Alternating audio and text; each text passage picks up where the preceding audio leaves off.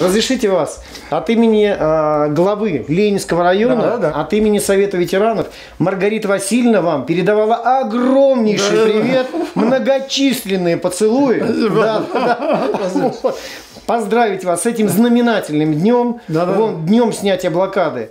Для Вячеслава Григорьевича Булгакова 27 января – двойной праздник. День снятия блокады Ленинграда и день рождения любимой дочки Елизаветы.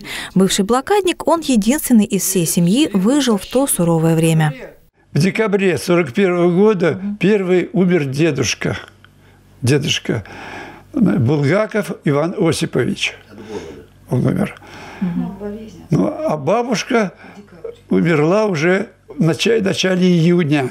Где-то в начале июня 42 года.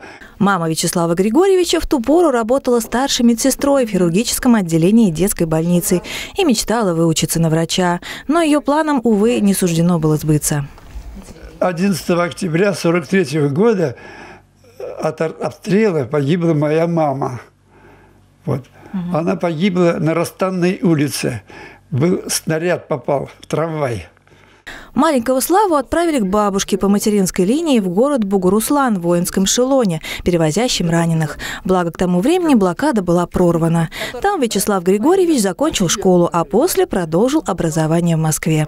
Учился в техникуме тяжелого машиностроения, параллельно работая на заводе «Металлист». В итоге вырос до инженера-конструктора в НИИ металлургического машиностроения.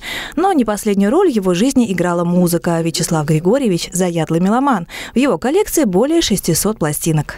Музыкального образования никакого. Я нот не знаю, я ничего не знаю. Но вот то, что мне нравится, это, это мое.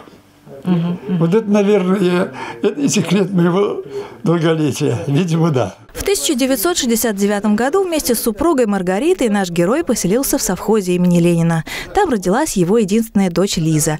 Ее Вячеслав Григорьевич ласково называет предметом своего обожания. И она, конечно, отвечает ему взаимностью. Для меня он всегда служил примером, всегда. Это человек не унывающий никогда. Он никогда не разменивался ни на какие пустышки. В первую очередь любовь и доброта. Вот это все, что я могу сказать. Прожить такую жизнь, я не знаю, и остаться человеком с большой буквы, ну это я, ну, что люблю его. После смерти жены Вячеслав Григорьевич перебрался в дом дочери, где и живет по сей день. Постоянно, да, в хорошем настрое, вот, ходит, гуляет, и, в общем-то, всегда он э, приседает по 30, по 40 раз в день. Вот. Так вот он очень позитивно, очень такой вот, жи- жизнерадостный. Сейчас нашему герою 86, но он по-прежнему бодр, полон сил, много улыбается и шутит. И ни дня не проводит без любимой музыки.